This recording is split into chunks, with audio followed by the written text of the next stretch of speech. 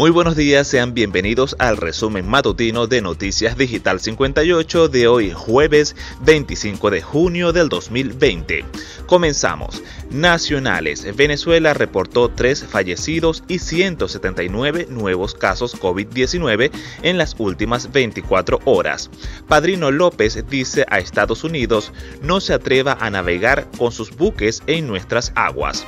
María Corina Machado, nosotros no podemos caer en las trampas del chavismo. Fiestas de San Juan en Naiguatá fueron dispersadas por la policía. Comenzó la asignación del bono Victoria de Carabobo 2020. Sectores altos de Valera en el estado Trujillo están sin agua por ruptura de tubería.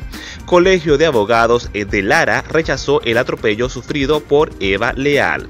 Cerrado supermercado en Baruta tras casos sospechosos de COVID-19.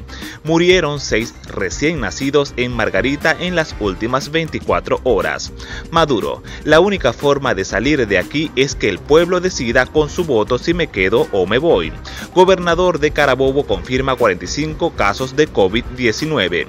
Juan Guaidó podría ganar la disputa por el oro venezolano depositado en Inglaterra. A 99 años de la inauguración del Arco de Triunfo de Carabobo.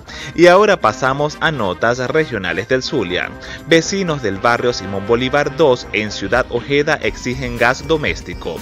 Unos 20 pacientes con COVID-19 habrían salido sin autorización del Hospital Universitario de Maracaibo.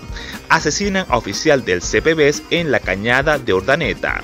En noticias internacionales tenemos que capitanes de los cinco barcos iraníes que transportaron gasolina a Venezuela fueron sancionados por Estados Unidos. Pasamos ahora a notas de fama y espectáculos. Carlos Gardel, 85 años del adiós de la voz más grande de la historia del tango. Leo Colina presenta su primer espectáculo en la plataforma Zoom. A continuación las notas más relevantes. NBA, Nikola Jovic dio positivo por COVID-19 en Serbia.